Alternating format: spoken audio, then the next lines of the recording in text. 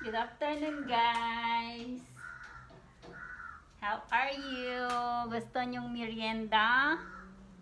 Ayan po. Kung gusto nyong merienda, ito po oh. Binili ng anak ko. It's a fritters. This one is uh, banana. And the can I don't know the name. Sorry, sorry. I have to go back with you with that. At saka, binilan po niya ako ng beef soup. Beef noodle soup. Ito yung noodles niya. Ito yung kanyang chili. Ayan guys, ang konti-konti. Saka ito ang kanyang beef at saka noodles. Ayan. Ay, sarap-sarap yan guys. Thank you anak. Kasi day off niya po nagkita sila ng kanyang tatay sa KL and now bumili siya ng ano ng konting Pilipino. Ang init talaga guys. Init sa labas. Filipino uh, food. Ah, delicacy Ayan. Ayan. Konti lang naman ang binili niya kasi wala kaning pera, guys. wala siyang pera. At least sabi niya kanina, oh, Mommy, what do you want? Sabi niya. At saka ito, alcohol.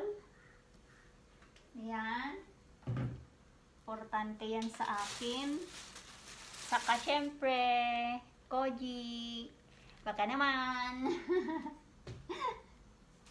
At saka, Eden cheese. Kasi paborito namin ito, guys. Ayan.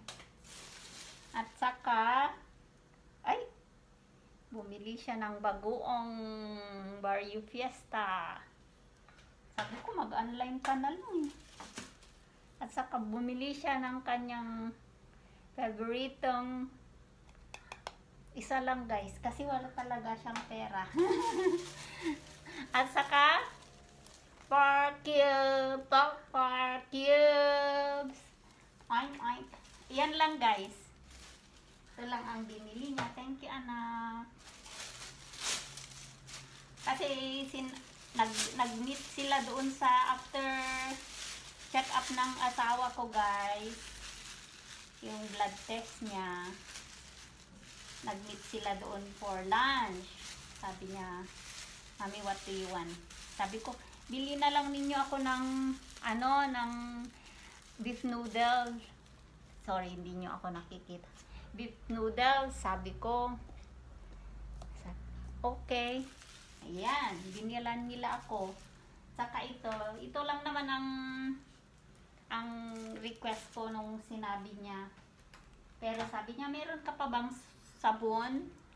Ayan, yan ang sabon ko guys. Kaya pumuputi ako lalo. Dati naman ako maputi guys. Ayan. Saka yun. Okay lang. Yan guys. Saka may bagoong na. Sabi ko mag-online ka na lang eh. Pero bumili pa rin siya kasi sabi niya, mas mahal kasi yung transport, yung ano niya, ganun din yun guys. Kaya, thank you anak. Thank you for this. Ayan, Filipino. I'm so happy talaga. Kay anak ko apo. God bless her. Saka bumili siya ng alcohol. Baka naman. Ayan. Lang guys. Sabi niya, alam mo ba kung magkaano na yan? It's already 100. Sabi ko, it's okay. Sabi ko naman, kung kung isang beses ka lang naman bibili, eh di lubos-lubusin mo na. Eh, yun lang. Mura kasi, ay, mahal kasi guys. Talaga, tri triple ang ginagawa nilang, ano, yung price niya. Pero, what to do? You cannot eat your money. Anyway, thank you anak. Thank you for for thinking me always. Kung nasa labas ka. Kasi siya na lang naman ang nasa yung mga malalapit sa mga ganito. Dito sa amin, meron din kaya lang. Wala naman ganito. Kung hindi mo i-online. Yun. Saka mama, ganun din. Kaya papasalamat kayo kung may ganito na kayong anak, di ba? thank God for my thank God. Thank God. Thank God for her. Thank God for the blessing. So anyway guys, see you on my next vlog. Mm, ah, merienda na tayo kasi kadu ah, hindi ko alam kung anong ito guys. Yung parang nangka and they make it as uh, fritters. They fry it into balls and they fry it. Ayan. Crunchy guys. Kahit yung banana dapat walang crunchiness sa atin, 'di ba? Saka banana cube. Ito dinalagyan nila ng butter, flour, yung ano ba? Enon. So anyway guys, uh, see you on my next vlog. Pasensya na kayo. Kayo mga subscriber ko. Sana pasensya na kayo kung hindi ako mag nag-shoutout sa inyo.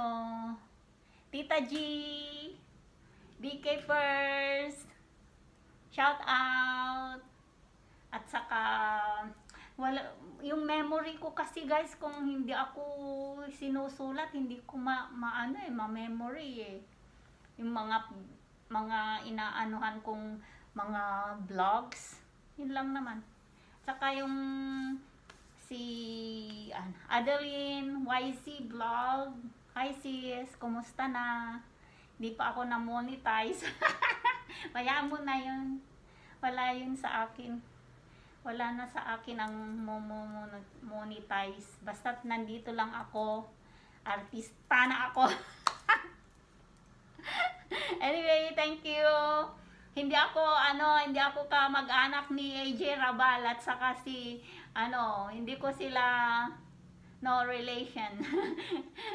Nagkataon lang na you are the same name, family name. Kasi may nagtatanong kung ka, ka mag-anak ko daw. I don't, maybe, I don't know. I don't, never, and never meet them yet. Kahit si Jeric. Yun, napapanood ko siya noon. Kaya lang, huminto siya eh. Katapos lumabas yung kanyang mga anak. So, I'm not related to them. Siguro, related kami. Kaya lang, yung ano, yung sa viral scandal, uh, ano, disclaimer, ano, si Nico Raval, yun ang anak ng aking pinsan. First cousin. Okay? Thank you and hope to see you on my next one. Mwah.